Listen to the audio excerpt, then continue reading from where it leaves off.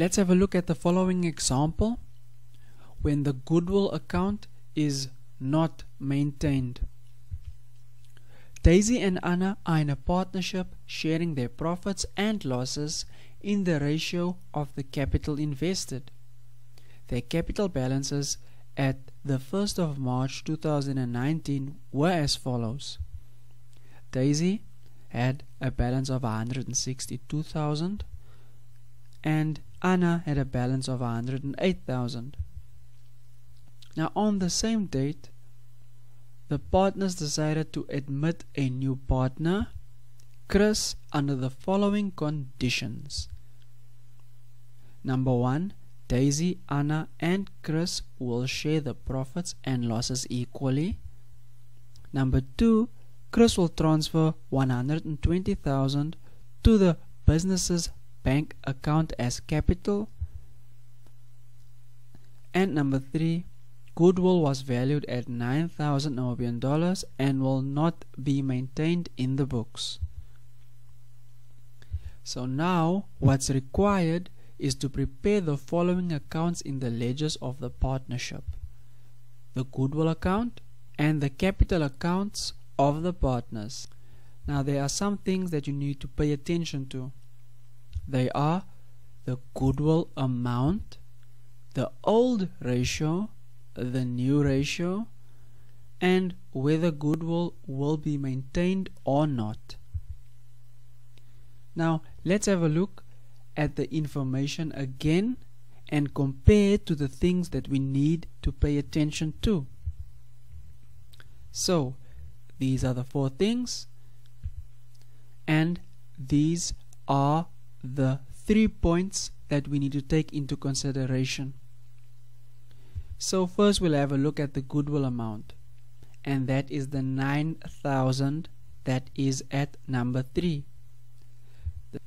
The second thing we need to look at is the old ratio and this will be calculated by the capital invested from Daisy and Anna. The third thing we need to look at is the new ratio and that shows at number 1 where Daisy, Anna, and Chris will share profits and losses equally. And lastly, we need to know whether the goodwill account will be maintained or not. And at number three, it says it will not be maintained in the books. So a reminder, the goodwill account will not be maintained. So on the debit side of our goodwill account, we will divide the goodwill amount in the old ratio and on the credit side we will divide the goodwill amount in the new ratio. So calculating the old ratio will be as follows.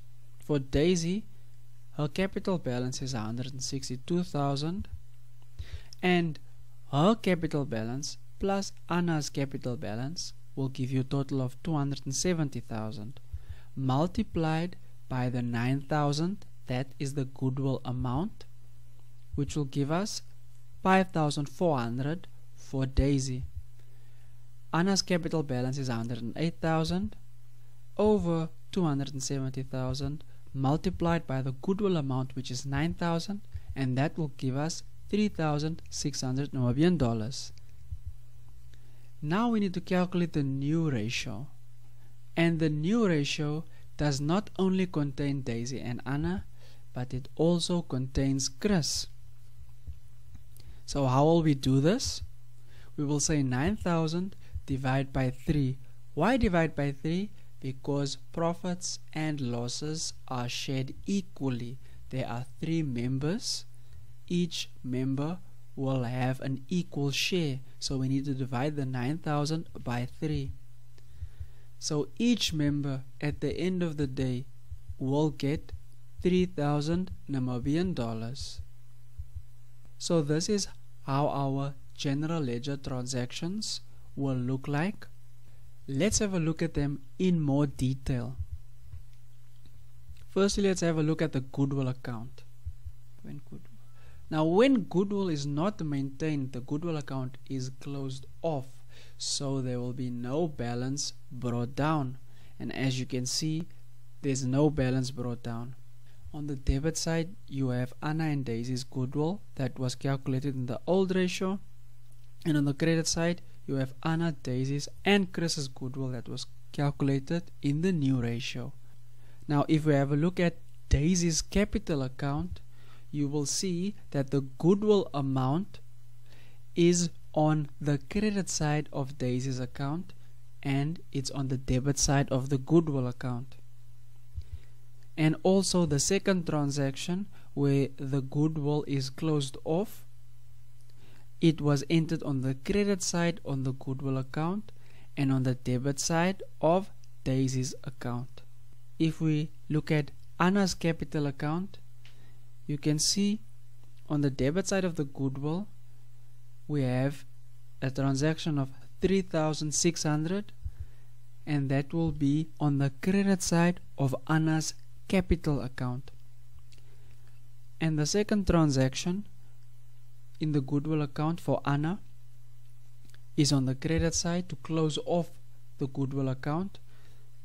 Therefore to complete the double entry Anna will get a debit transaction of 3000 and finally Chris's account the only entry related to goodwill for Chris will be on the credit side of the goodwill account due to the new ratio and Chris's capital account will be debited by 3000 please take note the 120,000 on the credit side of Chris's capital account was the amount contributed by electronic fund transfer or EFT so now there's some things to note